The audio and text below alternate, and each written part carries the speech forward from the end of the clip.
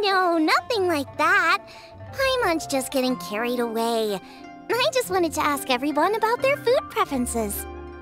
Food preferences? That's a little unexpected. I have rather simple tastes. Precise, pure, smart, and sophisticated. That is all I require. That's your idea of simple, huh? I summed up my culinary requirements in four words. Is that insufficiently simple for you?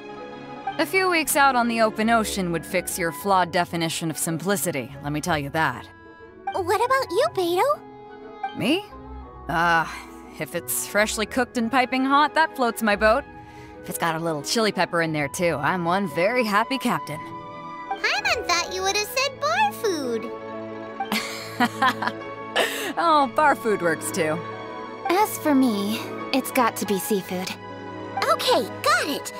So, seafood, piping hot, and, uh, simple but sophisticated.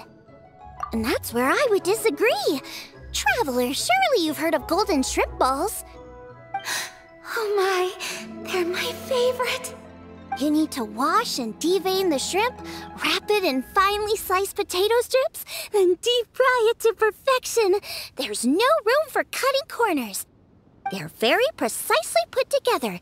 They taste pure, the presentation is smart, and the skill needed to cook them is highly sophisticated. It fits Ningguang's forward summary to the letter. Huh.